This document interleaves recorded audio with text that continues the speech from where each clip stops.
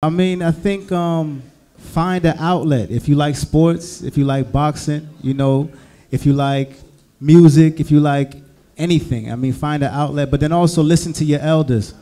You know, the people that have done it before, who lived that life and say, yo, I don't want to do it. Or people who just want the best for you. And then surround yourself with good friends, you know, that, that don't want to see harm come your way and then again keep god first and be spiritual as possible. You know that's gonna that's gonna uh, uh, uh, take away a lot of the the nonsense as well. So there's a couple things. Growing up as a jamaican in a brooklyn we see the bodies of them come and go. I've been there. I choose rastafari to that dread upon some people.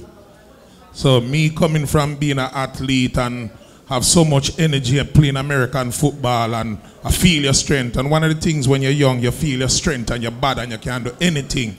So I would say to those young youths, I think Rotimi touched on something very, very important is talk to the OGs that have been there because one of the biggest problem in our communities today is there's no mentorship. Yes. And the youth them looking for guidance and you know, I always tell people when I perform with my son that I didn't give up on him. Because I make him know say me better than him.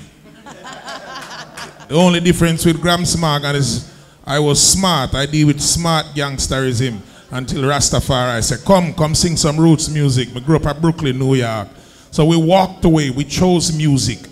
So like Rotimi said, choose something that you can find yourself moving forward in. Choose whether you want the boxing, sports, music find something. Don't make idleness become your playground.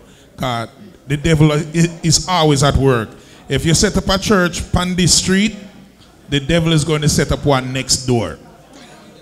So I would just tell people, say, seek God and listen to the elders. And anything, you can't have all the Gucci, all the nice things, all these beautiful things are there for life. But your foundation, the pillars of your life, family, God, those things are very, very important. So, like me say, talk to the OGs and you won't have to go down that street to find out how hot it is. Thank you.